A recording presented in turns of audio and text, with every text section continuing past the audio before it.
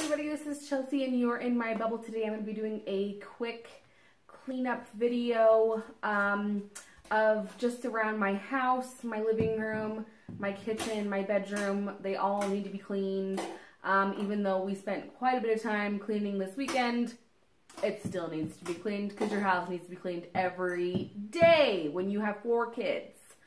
Um, so I am going to be cleaning with my two younger kids, Sophie, who is three, and Landon, who is two.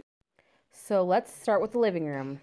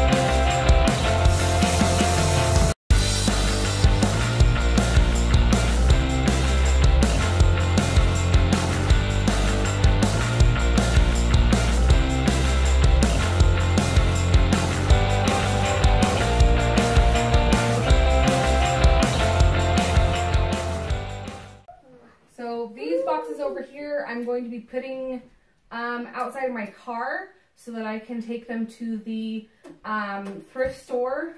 Um, in Utah, it's the DI, Deseret Industries, it's like an ARC.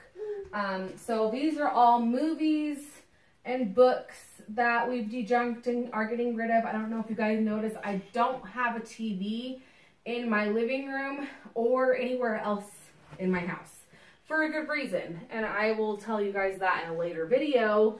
Um, but for now, just know that these boxes are not just laying around doing nothing. They are leaving my house for good. Also, this living room is like in rearranging mode. It's kind of like stuck in rearranging mode right now. Um, I'm waiting for my husband to help me move this um, shelf because it is really heavy and I can't move myself. Trust me, I've tried to move this myself, but I just can't do it. It's really heavy, even if you take everything off. So I'm waiting for him to help me move this shelf over to this wall right here. And then we'll be moving our couch right here um, and with its back um, facing this way and so when, you know, when you sit down right here, you'll see the fireplace and the bookshelves over here.